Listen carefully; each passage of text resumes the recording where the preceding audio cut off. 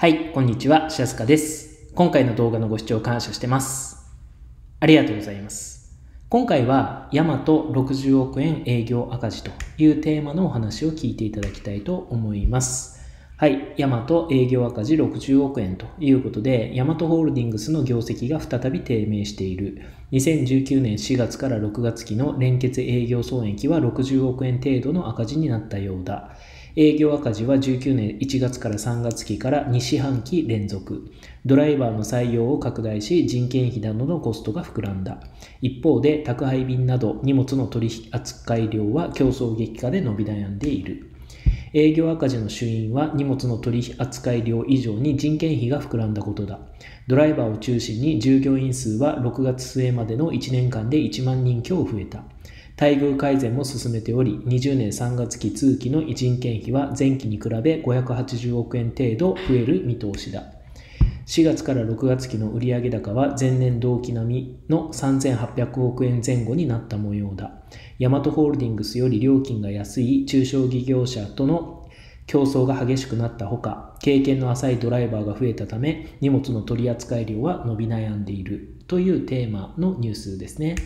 まあ、要するに、売上は前年同期並みですと。え、しかし、経費は増加しましたと。でよって営業赤字ですと。まあ、そういうニュースになっているわけですね。はい、でこのニュースっていうのは、まあねえ、短期的な事実っていうのをまあ述べてはいると思うんですけれどもたとえ3ヶ月単位という短期的な視点でそのように見えたとしても長期的な視点でも本当にそうなのかということですよね。まあ、四半期決算っていうことはまあ3ヶ月単位で決算を発表していて、まあ、それで赤字というのが、まあ、報道されているわけなんですけど、ね、3ヶ月という短期だったら確かにそう見えたとしても、本当にこう長期的にもそうなのかというのを今回はね、えー、確認をしてみたいと思います。はい、えー、年単位の売り上げは右肩上がりということですよね。ヤマトホールディングスです。えー、特色、えー、宅配便首位。全国に約4000拠点用紙、国内シェア約44%。企業物流を育成、アジア展開本格化ですね。え、連結事業としてはデリバリーですね。でこれが売上の80%と、営業利益率が3%ですね。あとはロジスティック関係が9%、売上の9%ですね。あとホームコンビニが売上の2%。で、e ビジネスが2%。でフ,、えー、フィナンシャルが売上の5%、他3%ですね。で、海外は売上の2%ということは、まあ、ほとんど、えー、国内の、えー、売上で、なおかつですね、まあ、はっきり言ったら宅配便、デリバリーというのが、まあ、中心ということですよね。で、売上を見ると、ね、えー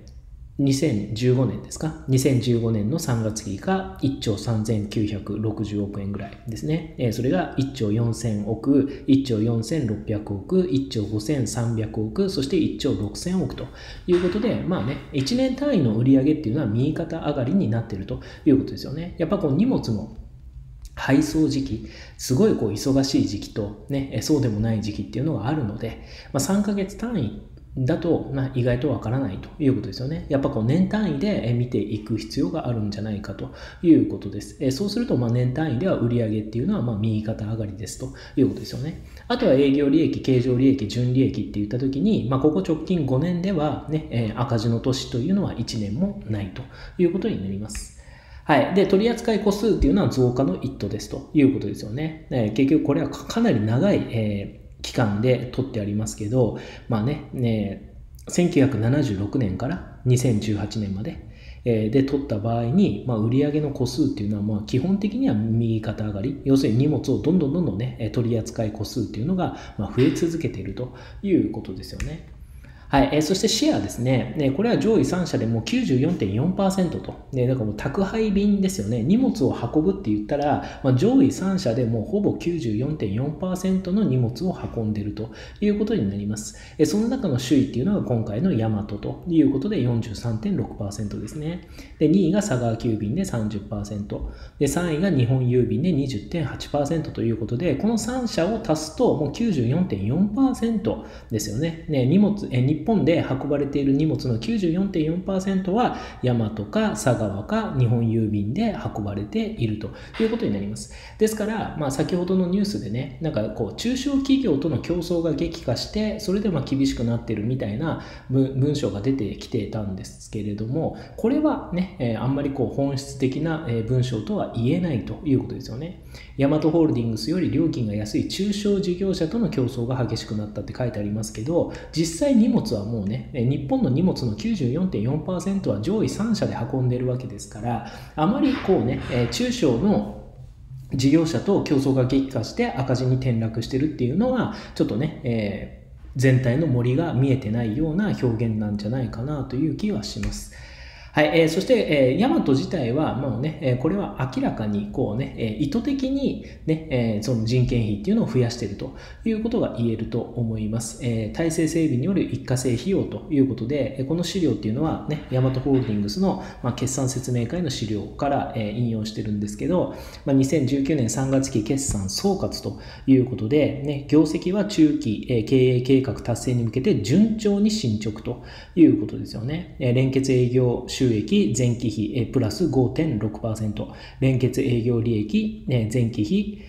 プラス63.5%ということですから、ね、もう明らかにヤマト自体は、ね、順調に来てますというふうに言っています。で、えー、2番ですね第。第4四半期は現役でしたと。ね、直近の、ね、この決算説明をする、この決算説明をする直近の一番最新の第4四半期は現役でしたと。ね、えー、宅急便が想定した取扱数量から下振れした、えー、ために、まあ、利益が減ったということですよね。えー、そしてその下です。働き方改革と同時に集配キャパシティの拡大を図る、えー、進めるために必要な体制整備による一過性費用の増加ということで、これは意図的に増やしているということですよね。まず働き方改革ということで、まあ、労働時間を減らすと。でそれによって、まあね、ヤマトはこう退職率っていうのも下がっています。えーねえー、2年連続ぐらいで退職率っていうのが下がってきていると。ね、だからそうこうじあの人材の定着率が上がっているということですよね。えー、同時に集配キャパシティですよね。こう荷物を集荷する、その規模の拡大を進めるために必要な体制整備を行っていると。まあ、つまりこうね、人的な体制っていうのをね、整備していると。それで一過性費用の増加ということで、これコンスタントにね、かかる費用ではなくて、まずそのキャパシティを拡大する。要するにこう受け入れ体制を大きくしているということですよね。これはまあ、ある意味こう計画的っていうか織り込み済みでやってるということになります。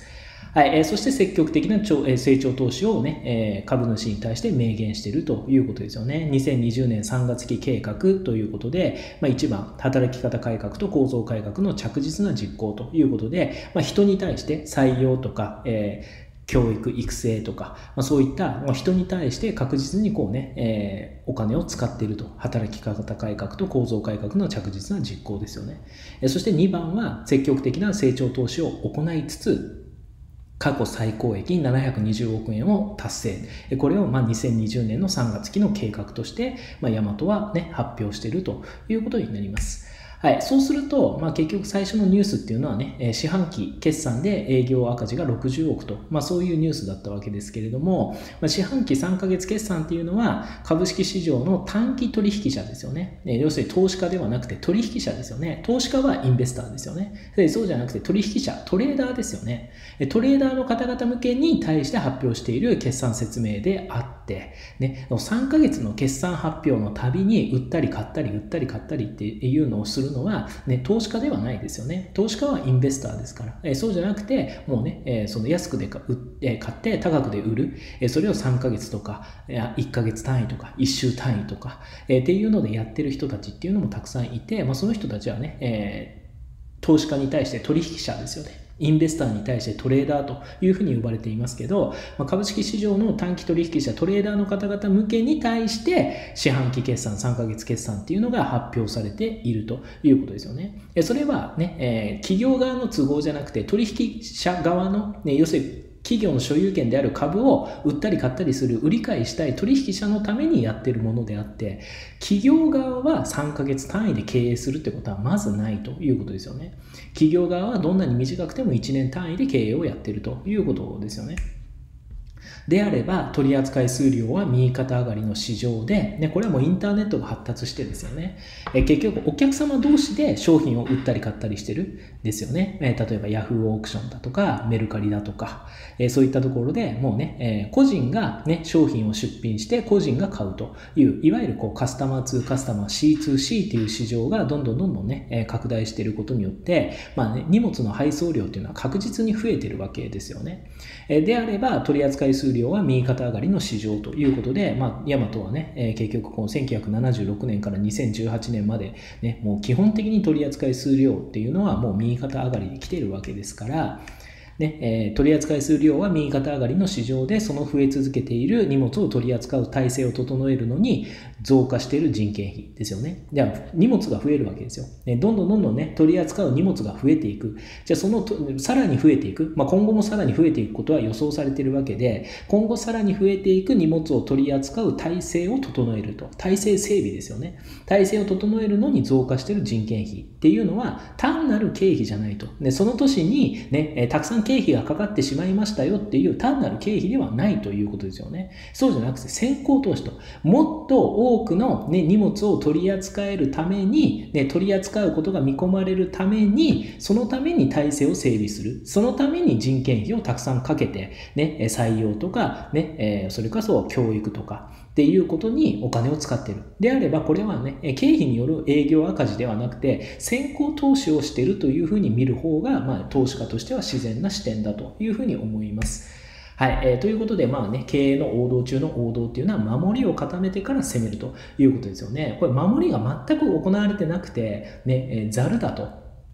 いうことであれば、せめてもね、結局バケツにね、えーバケツの底に穴が開いてる状態で攻めることになるので、ね、どんどんどんどんね、えー、水を注いでも注いでも漏れる量が増えるだけなんですよね。ね、だから攻める攻める攻める。もちろん攻めるってことも大事なんですけどバケツの穴が大きい状態で攻めてもそれが結局水がたまんないわけですよ。ただ、ね、バケツの底から水がどんどんどんどん漏れる量が増えていくだけなんですよね。だから経営の王道っていうのは守りを固めてから攻めるということですよね、まあ、サッカーだったらねすごく優秀なキーパーを入れてそしてディフェンダーを固めてね、そして、ね、キーパーも信頼できます。ディフェンダーも鉄壁の守りが、ね、期待できます。だから、ね、ミッドフィルダーの人たちは、ね、結局、フォワードと一緒に積極的に攻めるってことができるわけですよね。これキーパーが弱いとかね、キーパーがあんまり大したキーパーじゃないとか、もしくはディフェンダーが弱いと。その状態では攻められないわけですよ。ね、ミッドフィルダーの人たちはね、攻めるどころか、今度は守り、ディフェンダーとかキーパーをね、一生懸命フォローしないといけないわけですから、攻められないわけですよね。